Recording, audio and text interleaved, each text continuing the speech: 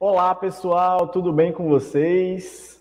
Eu sou Felipe Passos e estamos começando aqui mais um momento Saberes e Viveres. Vou fazer a minha audiodescrição agora, certo? Eu sou um homem branco, de cabelo preto, meu cabelo está cortado bem curtinho, é, eu uso um óculos de armação azul, não uso barba, estou vestindo hoje uma camisa preta e por cima dessa camisa um jaleco branco. E aqui atrás de mim tem um painel com a logomarca da prefeitura e do Caminhos da Educação, certo? O tema de hoje é agroecologia. Você já ouviu falar disso? Alguma parte dessa palavra aí te chama atenção? Você já ouviu, assim, já identificou do que é que se trata? Pois é, bora lá. Para começo de conversa, a gente vai definir o que é agricultura, né? A palavra agricultura ela vem do latim ager, que significa campo. Então, campo, né, a, a, a roça, digamos assim, o, o, lugar onde se planta. Então, a, a agricultura ela surge quando o ser humano começou a cultivar os seus alimentos, né? Então, antes, o ser humano ele era chamado de caçador e coletor. Vocês já devem ter visto isso em alguma aula de história. Me digam aí se vocês já viram ou não. O ser humano, quando ele era caçador e coletor, ele ia lá numa árvore, pegava uma fruta e já comia essa fruta. Pegava algumas sementes e já comia essa semente. Ele não se precavia, digamos assim. Ele não plantava para colher. Ele pegava o que tivesse disponível na natureza. Se ele tivesse a fim de comer carne, ele ia lá, matava um animal, caçava um animal para comer. Quando surge a agricultura, o ser, o ser humano começou a plantar alimentos. Ele identificou aquelas plantas ali que serviam de comida e começou a plantar no seu terreno, no seu quintal, né, na sua roça, no seu campo. Então aí surge a agricultura e junto com ela surge a pecuária. E essa palavra, ela já tem um significado em latim, pecuária mesmo, só que sem acento, significa rebanho. Então são animais, são animais que a gente cria também para prestar serviços para a gente, para produzir alimento, para comer o próprio animal ou algo que ele produza, certo? Então veja que agricultura e pecuária elas surgem juntas como a necessidade do ser humano de se prevenir, de ter um alimento, né? E também tem nessa palavra, né, agroecologia, o final ali é ecologia. Então o que é que isso significa? Tem duas vertentes, tá? A ecologia como ciência, ela trata da interação entre os seres vivos. Então quem é que vai fazer essa ecologia científica? é um pesquisador, é alguém que estudou engenharia florestal, biologia, é, qualquer uma dessas áreas do conhecimento que esteja voltada para a natureza, né, ela pode estudar como que os seres vivos interagem entre si e como que eles interagem também com o ambiente. Então essa ecologia, ela está voltada para o estudo das interações. Mas tem também a ecologia que ela está voltada para o debate ambiental. Então, os ecologistas, né, os ambientalistas, eles estão aí discutindo poluição, desmatamento, né? Então, veja que a, a ecologia nessas duas vertentes, ela está falando de natureza e de certa forma, para você investigar, né, como você, como que acontece a interação entre seres vivos, acredito eu que a maioria dos, dos ecólogos, né, dos pesquisadores em ecologia, eles vão ter também um interesse em preservação. Então, tá, estamos sempre ali falando de meio ambiente, de preservação, tá? Então, bora lá. É... O agronegócio, aí já tem uma outra, um outro ponto de vista.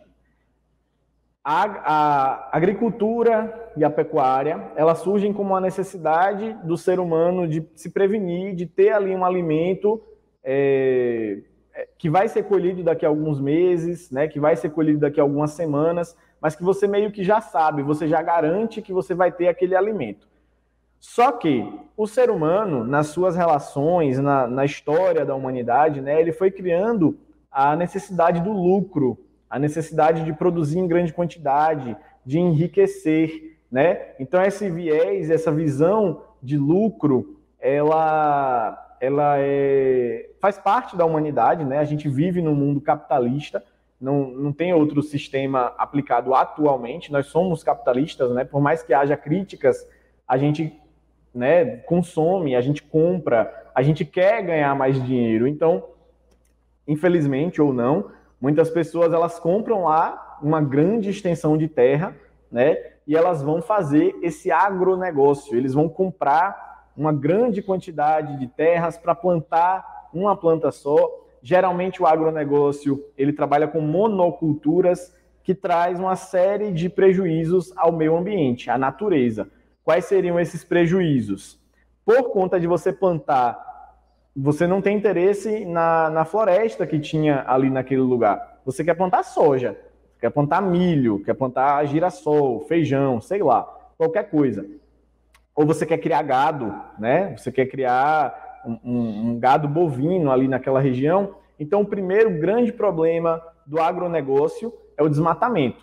Então, você tira a vegetação que era nativa, que já existia naquele lugar, para ocupar essa vegetação que antes era diversa, ou seja, você tinha várias espécies ali, agora você passa a ocupar com uma espécie só, né? Milho, soja, principalmente no Brasil. É, então você precisa derrubar aquela floresta. Você perde biodiversidade, você perde é, absorção de carbono, porque as florestas, né, as árvores de grande porte, elas absorvem carbono da atmosfera, gás carbônico, isso ajuda a resfriar o planeta. Então, o próprio fato de você desmatar já ajuda no aquecimento global, né? Junto com isso vem a poluição. Para derrubar muitas florestas, tem gente que queima, né? As queimadas criminosas, os incêndios florestais criminosos, né? No Brasil, eles são muito comuns, infelizmente. Fogo não é a melhor forma de limpar um terreno, né? Fogo não é a melhor forma de descartar lixo. E além disso, muita gente queima para derrubar a floresta mesmo, para que a floresta deixe de existir e aí você vai ocupar aquela área ali com soja, com gado, com milho, com o que quer que seja. Envenenamento. Como você planta a mesma planta, né, numa grande área, é soja, soja, soja, soja, soja, um pezinho de soja do lado do outro, se um deles, pensa comigo, é tudo soja. Se um dos pezinhos de soja, ele pega uma doença, quer dizer que ele é fraco para essa doença. É muito provável que os outros pés de soja em volta dele também sejam fracos para essa doença.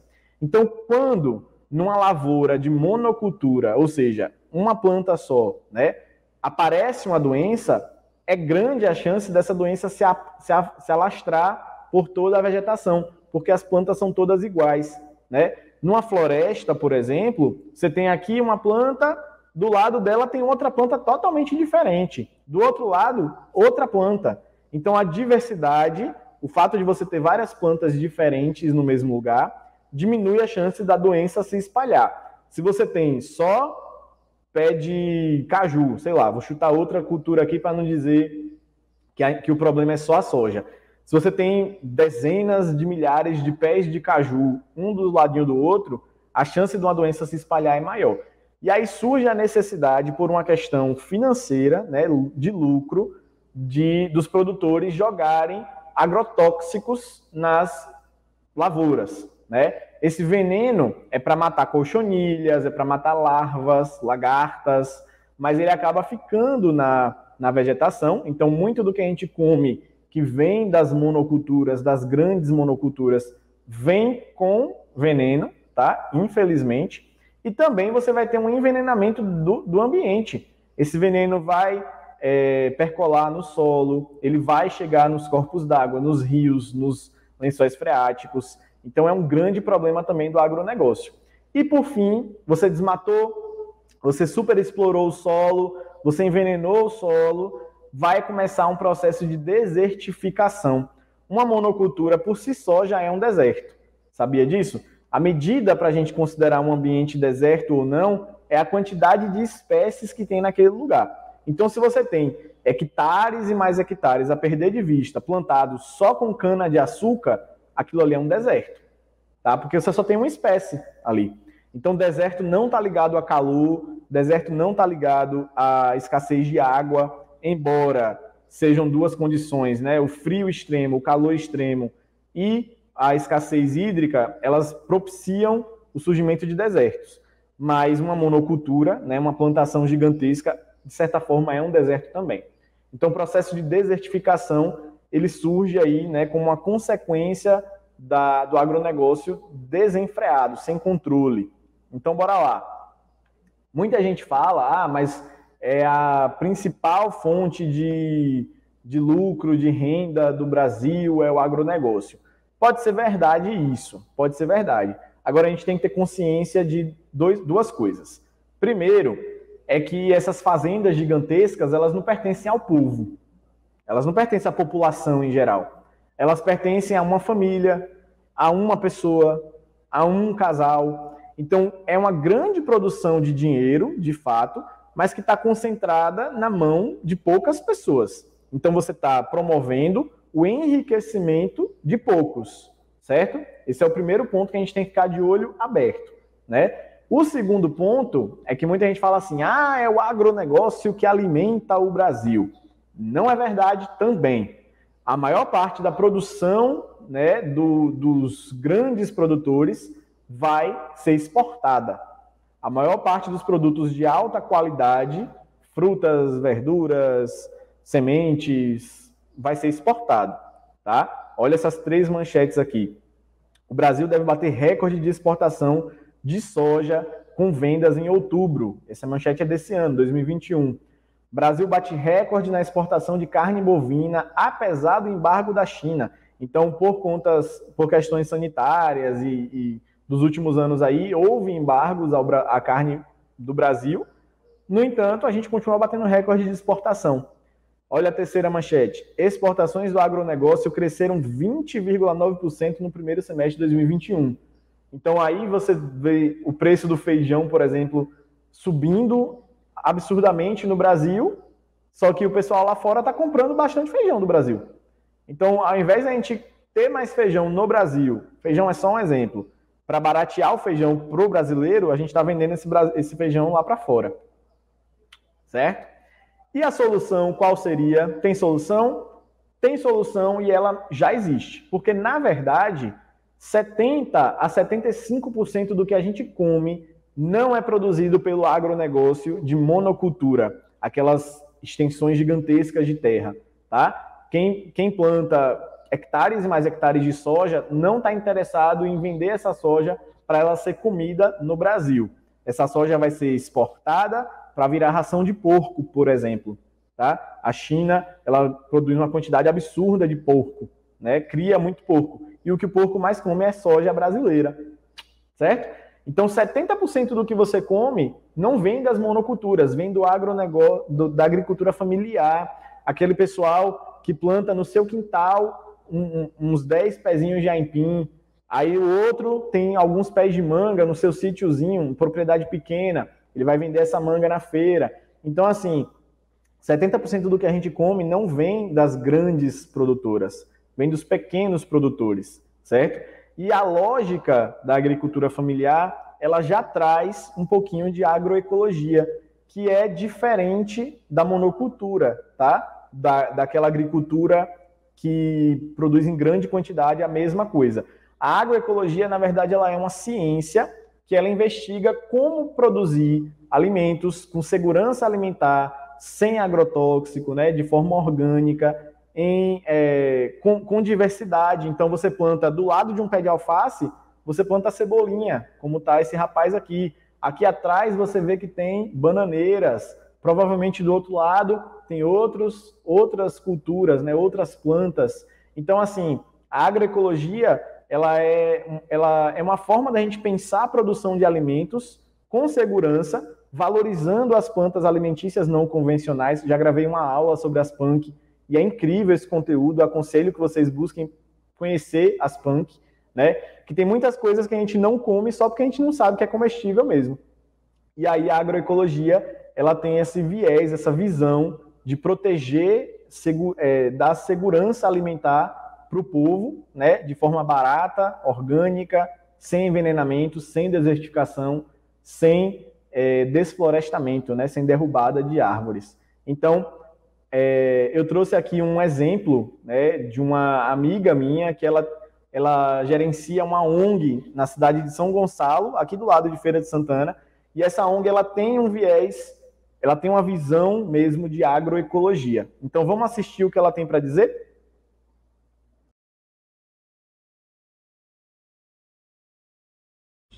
Essa é a ONG Pé de Arte, Cultura e Educação. A gente entra por aqui. Aqui é só o lado de fora dela. Todo esse espaço foi cedido pelo governo do estado da Bahia. A gente fez uma parceria e a gente construiu isso aqui há mais ou menos quatro anos. Oi, eu sou Lívia Castro, sou coordenadora da PASSE há 15 anos. Vou falar um pouquinho o que é, que é a PASSE para vocês. Então, a PASSE é uma ONG, uma organização não governamental, que existe há 15 anos em São Gonçalo dos Campos, atendendo crianças, jovens, adultos, idosos, em suas diversas oficinas. De, a gente tem oficinas de artes visuais, teatro, de dança, de leitura escrita, de capoeira, de línguas como já tivemos como italiano, inglês. A gente oferece oficinas de percussão, banda marcial, violão, é, yoga, artesanato, culinária, são muitas oficinas que a gente está oferecendo.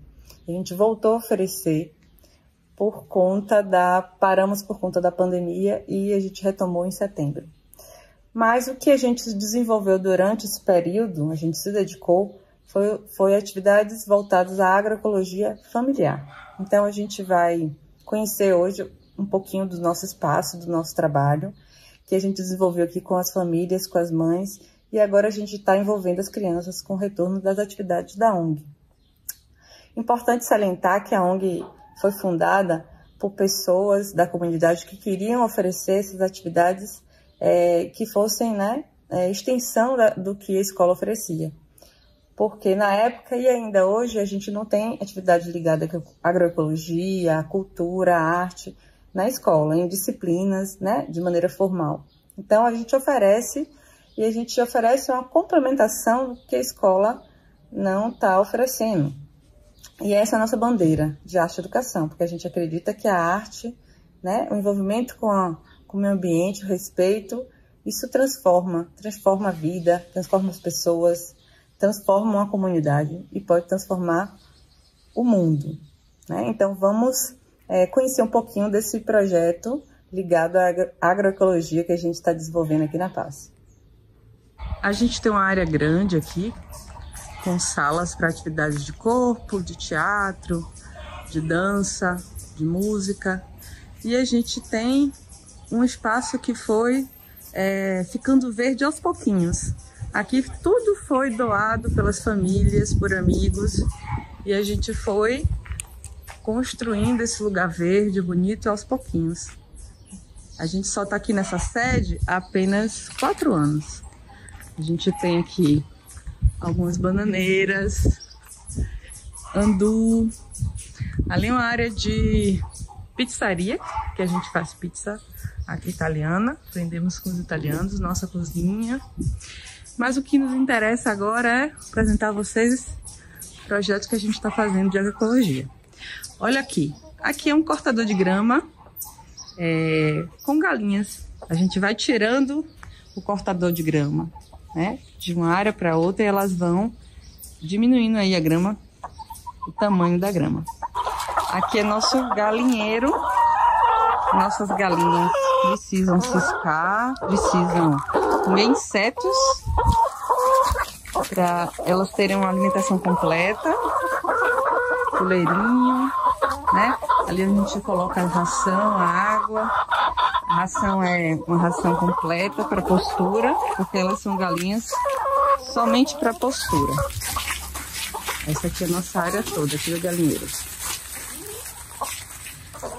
Aqui do ladinho a gente já tem plantas que a gente produz aqui para venda. O som das galinhas. São diversas plantas de desde suculentas a begônias, várias espécies aqui que a gente vende. E do ladinho aqui do galinheiro a gente já tem o viveiro de plantas. Tá bem cheio de mato por aqui, porque a gente acredita que o mato é necessário para proteger o solo. A gente não é inimigo do mato. Tem gente que coloca os defensivos, né? É, Mata-mato se chama. É um dos mais utilizados no Brasil, é o, o agrotóxico mais utilizado para matar o mato e é o que mais faz mal à nossa saúde.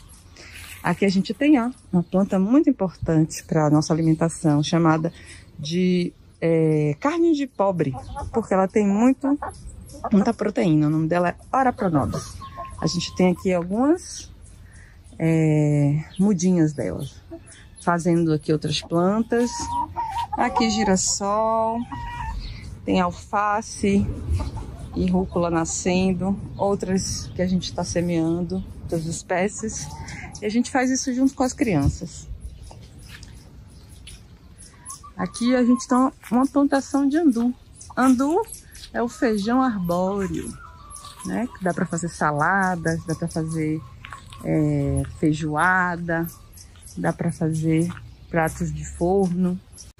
Aqui a gente tem um sistema que é o sistema integrado, sistema de água que é recolhida da chuva e que vem aqui para esse tanque. E depois ela ele vai essa água vai para os canteiros suspensos que são funcionam como um filtro para a água. Essa água volta limpa para o tanque ela é decantada a sujeira é decantada nos tubos e vão nutrindo aí o resíduo do, do peixe o resíduo que fica da, da ração, do cocô do, dos peixes, ficam aqui nesses canteiros suspensos. Esse é um sistema criado por Eber Simen, adaptado pelo Eber Simen, que é um parceiro nosso, um arquiteto de Feira de Santana. Tá? Então aqui a gente tem um tanque de peixes, a gente vai ter outro daqui a pouco, quando os peixes estiverem maiores, a gente vai botar ali em cima.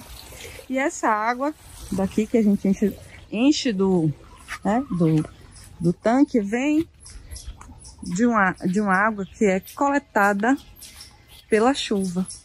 Né? A gente tem um coleta que fica do lado de fora da onda.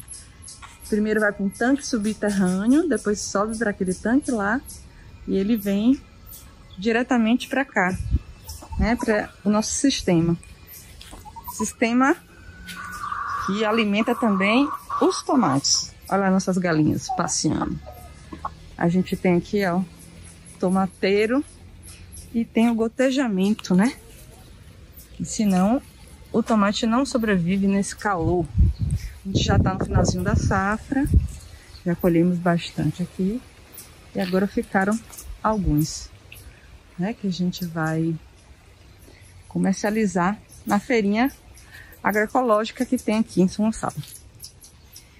Então esse é o nosso espaço com toda essa área aqui, verde, que a gente otimizou, porque a gente ainda não pode construir, porque não tem orçamento, mas a gente resolveu fazer uma atividade de agroecologia com as famílias. Tá certo?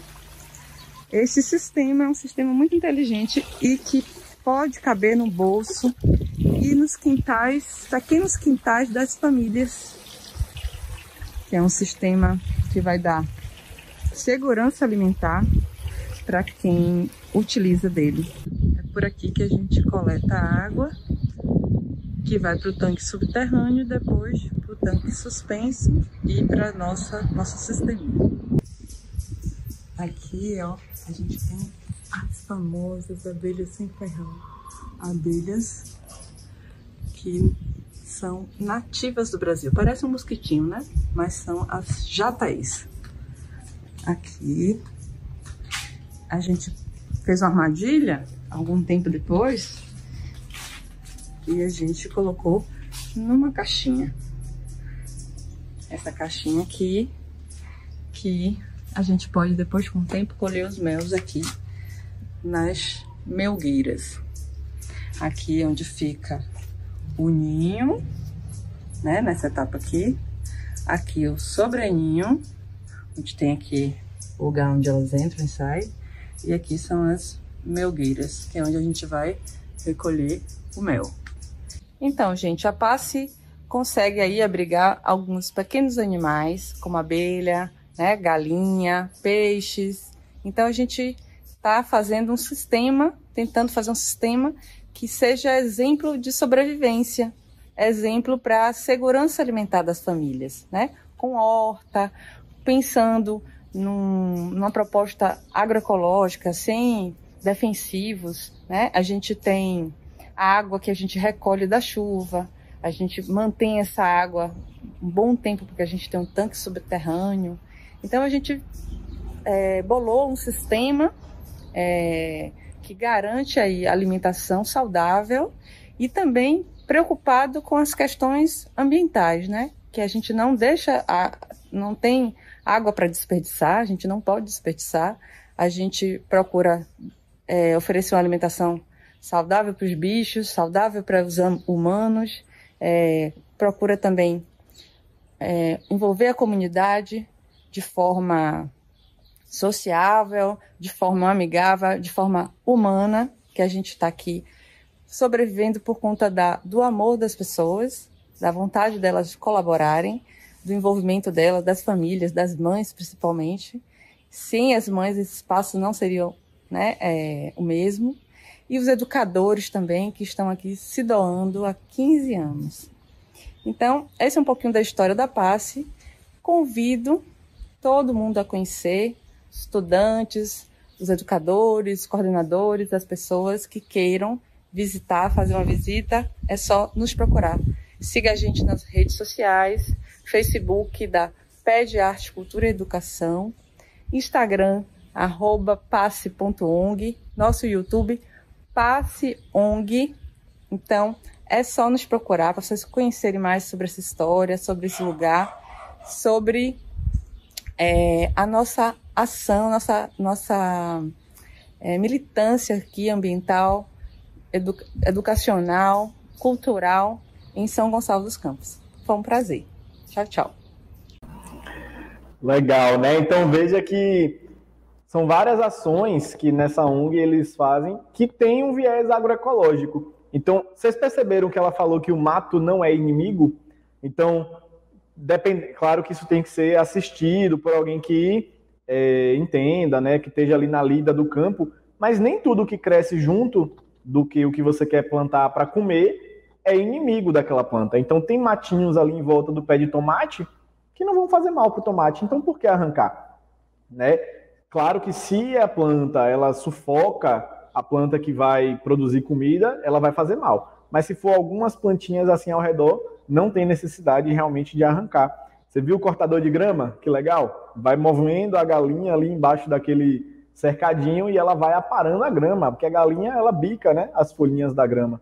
Então, você não precisa poluir, você não precisa é, derrubar a mata, derrubar a vegetação nativa para produzir algo agroecologicamente, certo? Então essa é a visão da agroecologia.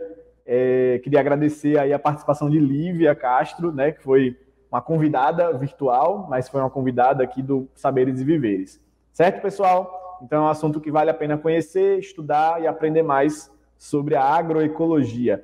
A gente se vê semana que vem com mais um tema aqui no Saberes e Viveres. Tchau, tchau!